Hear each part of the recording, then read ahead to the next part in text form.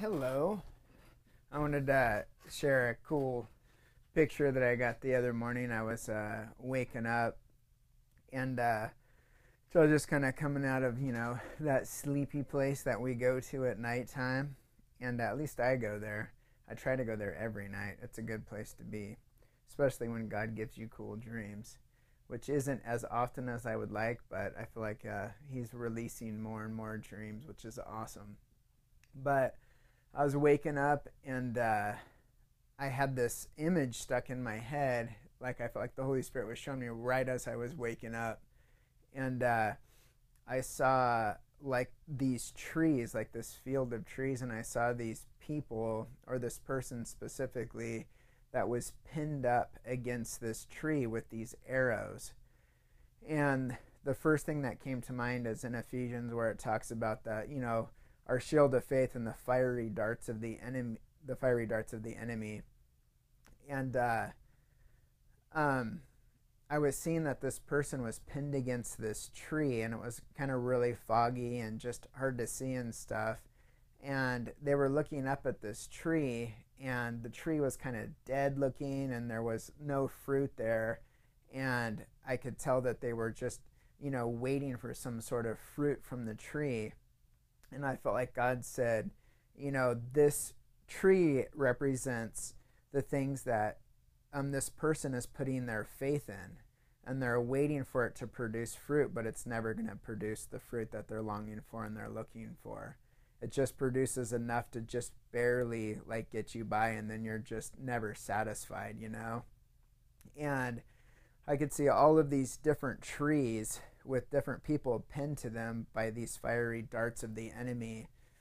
And uh, that they were in the same situation. They were just like, you know, kind of discouraged and just oppressed, and they were just looking to these trees to produce this fruit. I could kind of see like this wind come in and blow out the fog, and then there was this tree that was right in the center of this orchard, all of these trees were, and it was beautiful and it had all of this fruit that was on it. And I just knew as soon as I saw it that it was the tree of life. And God's brought up the tree of life multiple times over the last few years, so I'm going to try to keep it simplistic so I don't, you know, go into too many different directions.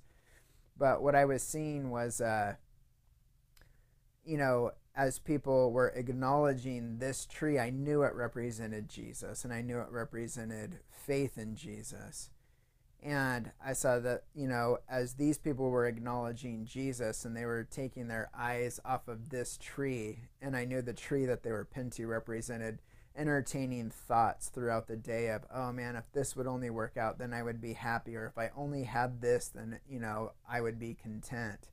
And all of those things are just carrots that the enemy is using to distract us from receiving of what Jesus has done, you know. And so I saw kind of as the this wind came in, which I knew to represent the Holy Spirit, kind of blew away the fog.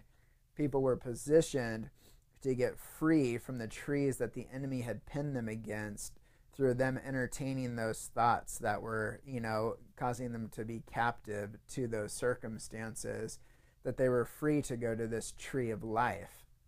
And God's revealed to me before that uh, the tree of life represents the love of the Father, which is only, you know, possible of achieving through our faith in Christ.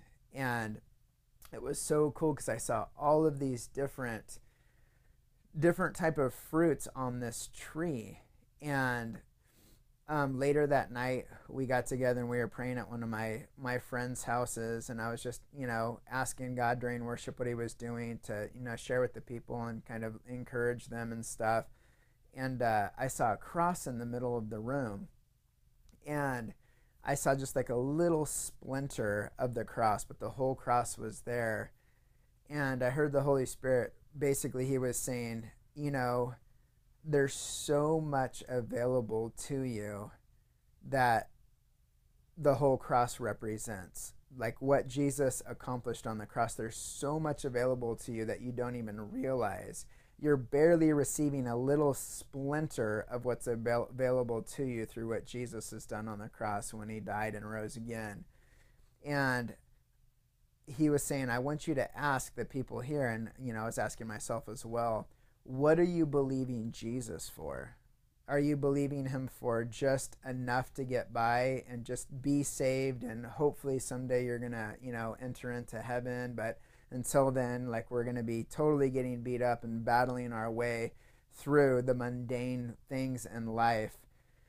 Or is he saying, Are you believing me for more? There's so much more on the cross. Are you believing me for people getting healed, getting delivered, getting saved?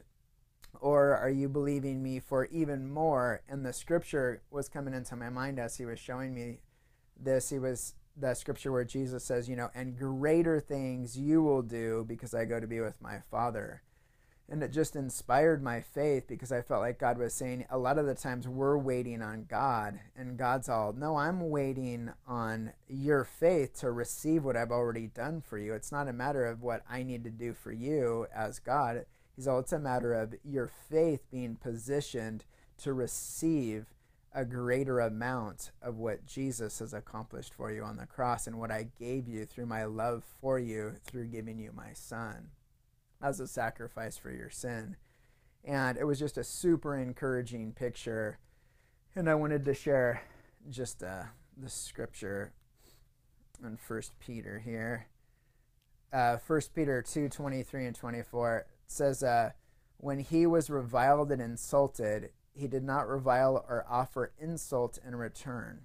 When he was abused and suffered, he made no threats of vengeance but he trusted himself in everything to him who judges fairly. So Jesus was in a position to get totally abused by the world and by people because he wasn't standing up for himself. He was putting his faith in his Father, trusting him to bring, you know, uh, justice.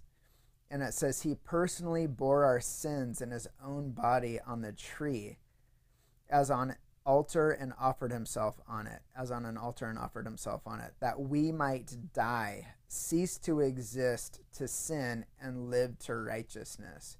By his own wounds you have been healed. And I like that part where it says that we might die, cease to exist. And I think that's something that God, you know, is highlighting so much in my life and just in what he's doing here at the tattoo shop is you know, we're dying to our own needs and our own wants, which is all motivated by fear, just lust of the world, as we're trusting in Jesus so that we might be alive to his righteousness, to where, like Christ, we're trusting God with us that we might be free to live for his glory and to love the people that are around us through that faith and I just wanted to encourage, you know, the people that are listening that there's so much that's available to us on that tree, on that tree of life. And it reminds me of Revelation where it talks about, you know, the tree of life that brings healing and all these different things. And it's available to us now, you know.